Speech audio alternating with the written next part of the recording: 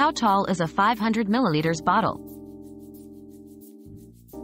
The height of a 500 milliliters bottle typically ranges from 20 to 30 centimeters. This varies based on the bottle's design and thickness. Commonly used for beverages and other liquids, these bottles are designed for easy handling and storage. Their size is convenient for daily use, fitting comfortably in most refrigerators and cup holders.